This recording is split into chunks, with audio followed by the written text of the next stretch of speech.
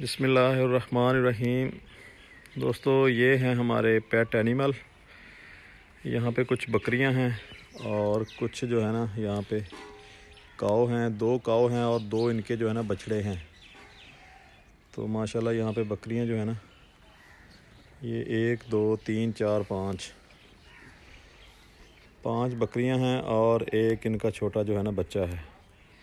दोस्तों, जब पहले पहले ना कोई आज से पंद्रह बीस साल पहले की बात है कि ये जो आप नस्ल देख रहे हैं, ये बिल्कुल यहाँ पे नहीं होती थी पंजाब में। पंजाब में ख़ासकर बहावलपुर जो अपना डिवीज़न है तो यहाँ पे वाइट और ब्लैक एक किस्म होती थी, जो अब बिल्कुल जो है ना, नायाब हो चुकी है। वो देखने में भी उस कलर की बकरी नहीं मिलती।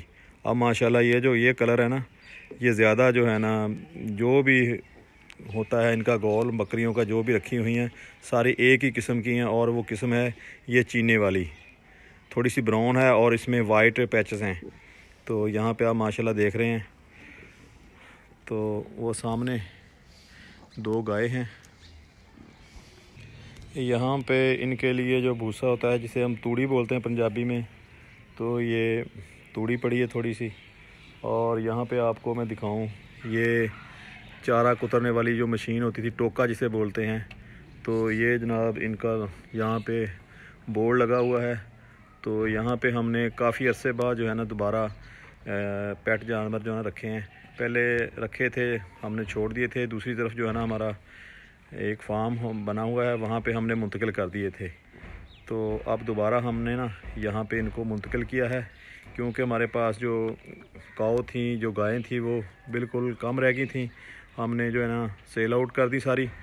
तो अब ये दो बची थी तो उनके लिए स्पेशल वहाँ जाना जो है ना, उनकी रखवाली करना जाके। तो ज़रा मुश्किल था तो हमने, हमारे ये जो घर है हमारा, ये सामने देख रहे हैं। तो हमने इन गाय को यहाँ पे ही मुंतकिल कर दिया। तो आप देख रहे हैं, माशाल्लाह, ये बकरियाँ मुझे बहुत ज़्यादा ना, माशाल्लाह, खूबसूरत लगी हैं। ये इनकी खुरली है, जिसमें चारा डालते हैं। तो ये यहाँ पे उन्होंने ना बाउंड्री सी बनाई हुई है। ये इसलिए है कि जो बकरी होती है, ये ना इसमें छलांग लगा के इसमें दाखिल हो जाती है। तो इनके पाँव को मिट्टी और पेशाब लगा होता है तो जिसकी वजह से ना चारा ख़राब हो जाता है। तो चारा ख़राब होने के, रोकने के लिए यहाँ पे एक बाउंड्री सी बना रखी है, ताकि ये अंदर जो है ना दाखिल ना हो सकें। तो यहाँ पे देखें गाय का कितना प्यारा माशाल्लाह। बछड़ा है। यहाँ पे बच्चों ने छोटा सा एक खुडा सा बना रखा है मुर्गियों के लिए।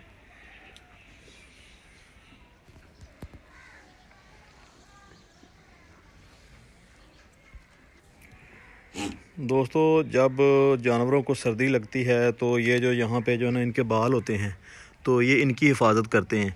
तो यहाँ पे आपको दिखाऊँ, ये देखें, यहाँ पे जब सर्दी बढ़ जाती है तो जानवर अपने बालों को ना खड़ा कर लेते हैं, ताकि इसके अंदर जो है ना हवा दाखिल हो, और जो हवा अंदर दाखिल होती है, वो गर्म हो जाती है। एक तरह से वो गर्म हवा की तय बन जाती है, जो बाहर वाली हवा होती है, वो अंदर नहीं जा पाती। अंदर हवा का दबाव होने की वजह से दोस्तों, वो हवा जो है ना गर्म होती है और बाहर वाली हवा जो है ना, ऊपर से यहाँ से ऐसे गुजर जाती है। तो ये देखा होगा आपने यहाँ पे, ये सारी जो जानवर हैं, थोड़े से इन्होंने यहाँ पे बाल इकट्ठे किए हुए हैं। तो वहाँ पे आपको गाय दिखाता हूँ, वो भी देखें यहाँ पे, थोड़े से उसके बाल जो है ना, ऊपर को उन्होंने किए हुए हैं, इसलिए कि सर्दी इनको ना लगे।